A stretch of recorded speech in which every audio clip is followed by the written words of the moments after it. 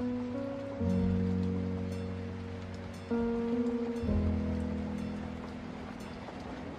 असलम प्यारे दोस्तों, कैसे हैं आप सब? उम्मीद करते हैं कि आप सभी ठीक होंगे, खुश होंगे और मज़े में होंगे। प्यारे दोस्तों, आज की खूबसूरत वीडियो के साथ फिर से आपकी खिदमत में हाजिर हो चुके हैं। हमें कहते हैं, सैयद एहसनास और आपसे गुजारिश इतनी सी है कि हमारे इस चैनल को लाजमी सब्सक्राइब कर दीजिए, साथ ही मौजूद बेल के बटन को लाजमी प्रेस कर दीजिए, ताकि तमाम आने वाली खूबसूरत वीडियोस आपको बर वक्त हासिल हो सकें।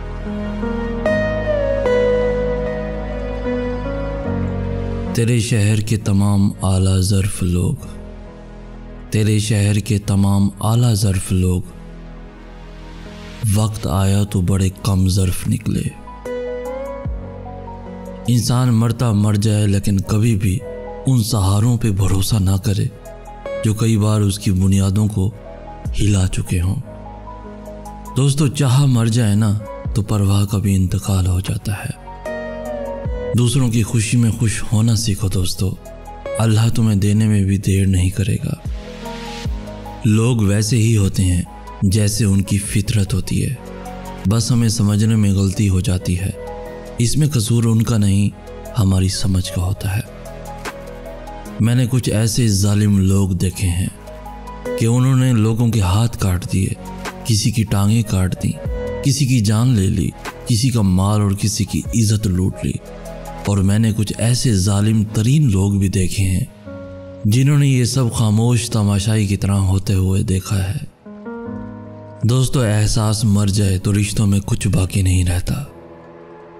तुम कभी ना जिसको भर पाओगे, मैं ऐसा खासारा हो जाऊँगा। कोशिश करो जिस चीज़ के लिए तुम खुद तरसे हो, कोई दूसरा आपकी वजह से ना तरसे। फिर चाहे वो रिश्ते हों, खुशियाँ हों या सुकून हो। मोहब्बत रोग है जाना, मोहब्बत अब नहीं होगी। मोहब्बत एक तमाशा है, शिकायत अब नहीं होगी। कभी कभी आँखों में कोई ऐसी धूल झोंक जाता है कि इंसान पहले से बेहतर देखने लगता है। किसी के दूर जाने में ज़रा सी देर लगती है, किसी को पास लाने में ज़माने बीत जाते हैं। जो लावा राख करता है, अचानक तो नहीं फटता है कि हद से पार जाने में ज़माने बीत जाते हैं। खिला है आसमान आबी मगर ये पर नहीं खुलते कि आदत याद आने में ज़माने बीत जाते हैं। बहुत आसान होता है अगर केकर उगाने हो, मगर कांटे उठाने में ज़माने बीत जाते हैं। नए के शौक में आबी पुराने को तो मत फूको। नए के शौक में आबी पुराने को तो मत फूको। दिया कोई जलाने में ज़माने बीत जाते हैं। किसी के दूर जाने में ज़रा सी देर लगती है। किसी को पास लाने में ज़माने बीत जाते हैं। लोग कहते हैं किसी एक के चले जाने से ज़िंदगी नहीं रुक जाती। लेकिन ये कोई नहीं जानता कि लाखों के मिल जाने से भी उस एक की कमी पूरी नहीं होती। कितना मुश्किल है मोहब्बत की कहानी लिखना। जैसे पानी पे पानी से पानी लिखना। फासले बढ़ गए और कम वक्त मोहब्बत भी। कभी मोम बनकर पिघल गया, कभी गिरते गिरते संभल गया।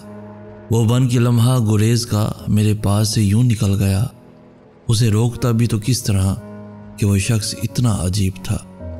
कभी तरफ़ उठा मेरी आह से, कभी अश्क से न पिघल सका। सरे राह मिला वो अगर कभी तो नज़र चुरा के गुजर गया। वो उतर गया मेरी आँख से। मेरे दिल से वो क्यों ना उतर सका? वो उतर गया मेरी आँख से। मेरे दिल से वो क्यों ना उतर सका? वो चला गया जहाँ छोड़ के। वो चला गया जहाँ छोड़ के मैं वहाँ से फिर ना पलट सका। वो संभल गया मगर आज तक। वो संभल गया मगर आज तक। मैं बिखर के फिर ना सिमट सका। मैं बिखर के फिर ना सिमट सका। दोस्तों, जब उसने मेरी मोहब्बत में किसी को शरीक किया तो शिद्दत से एहसास हुआ, खुदा क्यों माफ़ नहीं करता शिरक करने वालों को? शिरक करने वालों को।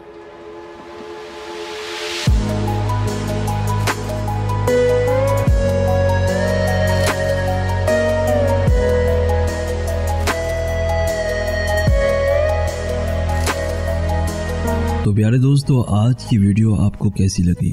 आज की इस वीडियो से अगर कुछ सीखने को मिला हो तो अपने दोस्तों के साथ, इवन फैमिलीज़ के साथ भी ज़रूर शेयर कीजिए। हमारी हौसला अफजाई करते हुए इस वीडियो को लाइक भी लाजमी कर दीजिए। रोज़ाना ऐसी खूबसूरत, दिलों को छू लेने वाली वीडियोस के हसूल के लिए हमारा चैनल भी ज़रूर सब्सक्राइब कीजिए। हमें कहते हैं, सैयद एहसन आस हम मिलेंगे नेक्स्ट वीडियो में। तब तक के लिए अल्लाह आपका। हामियो नासिर